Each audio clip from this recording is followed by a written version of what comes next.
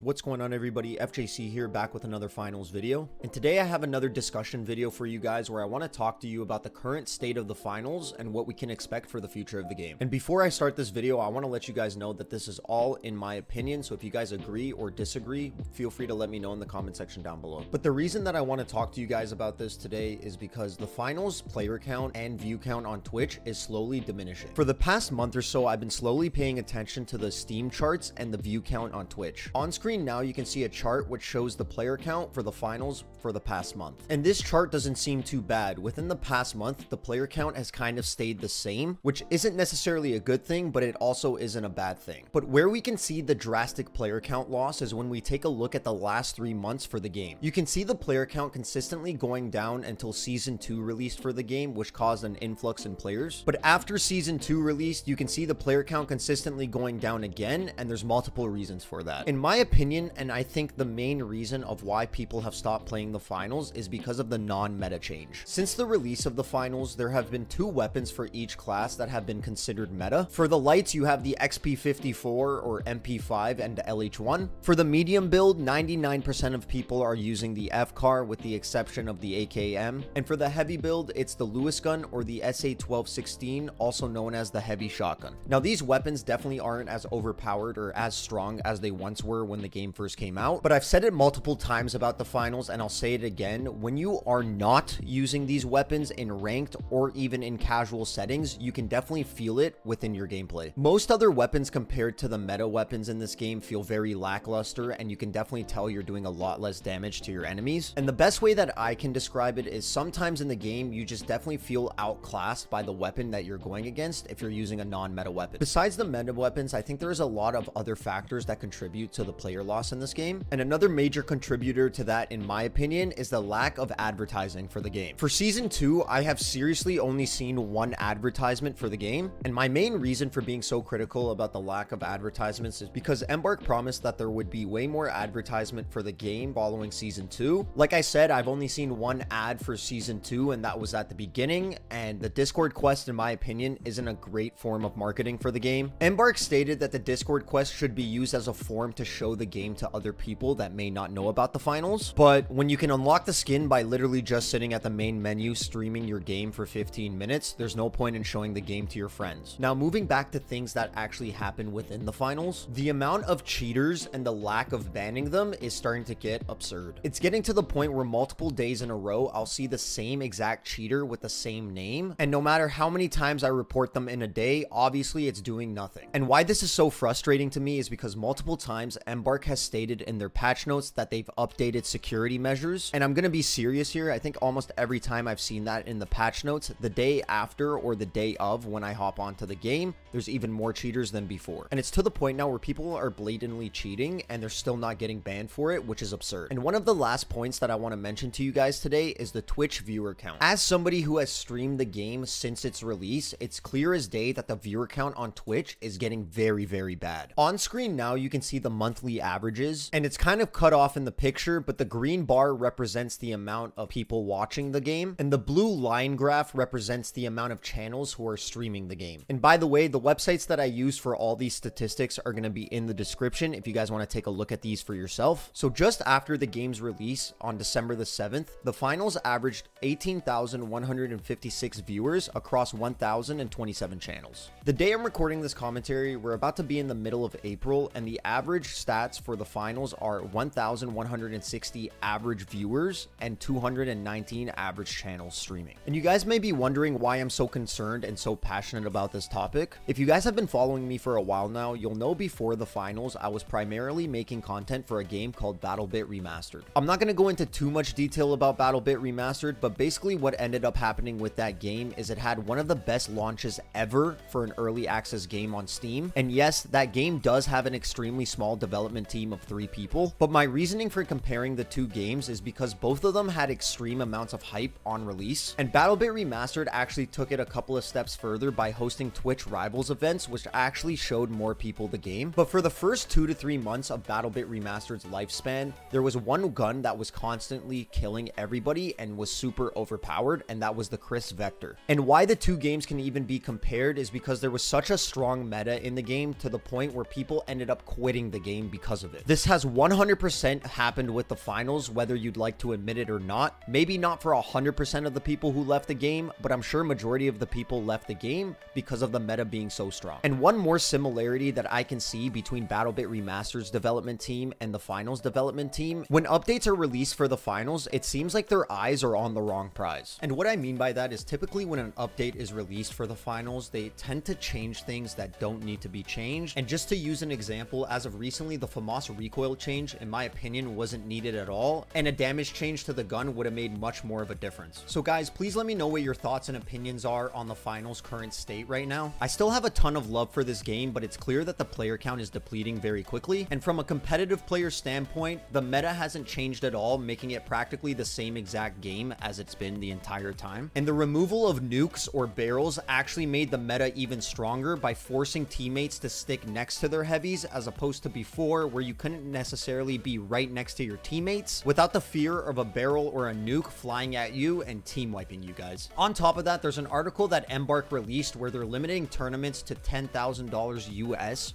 per year. And this means if you were to run 10 tournaments, the prize pool for those tournaments would be $1,000. And if you were to run five tournaments, each tournament prize pool would be $2,000. Which to sum it up in one sentence, that's pretty freaking bad. Like I mentioned earlier in the video, everything that I talked about today is going to be in the description so you could take a look at it for yourself. And with all that being said, that's everything from me for today. I truly hope you guys enjoyed the video. Once again, let me know your thoughts and opinions in the comment section down below. And I'll see you all in the next video. Peace out. Much love.